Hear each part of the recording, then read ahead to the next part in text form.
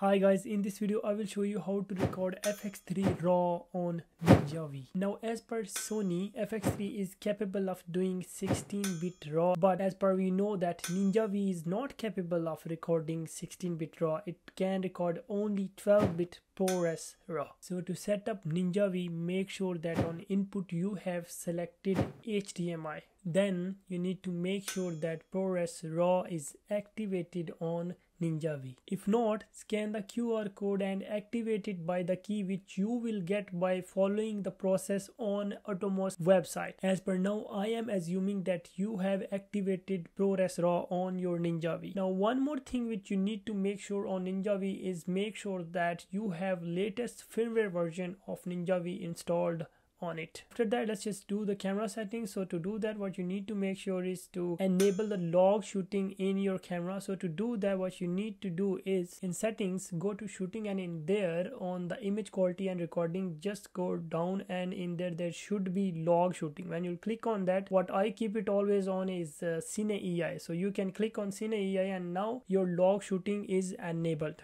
And after that we need to enable 4k raw output on hdmi port. So to do that what we do is basically we go all the way down in setup and in setup we scroll down till we see external output. And in external output on the HDMI output we go down and we can see raw output and we need to turn it on. When we turn it on it should show and it should be enabled. If it's not turning on then what it means is that your HDMI cable is not 4K and it cannot pass through 4K 50 frames. So change the cable and make sure you have a 4K 50 frames frames cable. One more thing for the camera setting is just to make sure that your camera is on the latest firmware to avoid any of the mishaps and when on your Ninja V you are trying to record and it's not recording it can be because of your ssd because it's maybe not able to record that much data. So you need to go on atomos website and check which ssds are capable of doing that ProRes RAW recording. Make sure that you have those ssds instead of any of the slower ssd i hope this video was helpful for you guys. If it was please give it a thumbs up and don't forget to subscribe for more informative videos like this.